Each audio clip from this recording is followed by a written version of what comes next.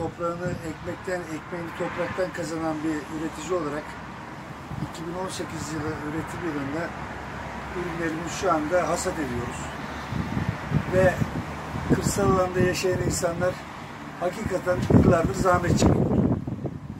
Bundan sonraki süreçte e, nasıl olur onu hep beraber yaşayarak göreceğiz. Fakat devletimiz, hükümetimiz çiftçilere daha fazla ilgi göstermesini talep ediyoruz.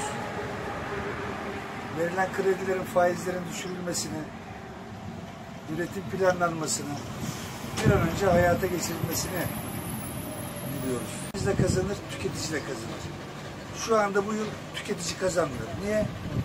Kavun küçük altına yaşıyor. Domates kırmızı altın diyorduk yıllarca. Hakikaten kırmızı altın oldu. Şu anda 70 kuruş fabrikadan aldığını açık domatesleri duyuyoruz. Buğdayımız güzeldi.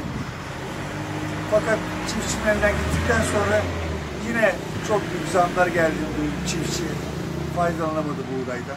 Saman güzeldi. Hükümetimizin, devletimizin çiftçiye sahip çıkması için kredi borçlarının ana faizlerinin silinmesi, ana paranın ödenmesini istiyoruz. Bir kere geçmiş yıllardaki ertelenen borçların faizleri silinmeli arkadaşlar. Çiftçi ödeyemez. Çiftçi ipoteklidir, malı satılır ödenir. Ama çiftçi azaldıkça tarımda da tekelleşme oluyor. Üretim belli grupların eline geçiyor. Tüketiciye çok pahalı ürünler eee, ulaşıyor.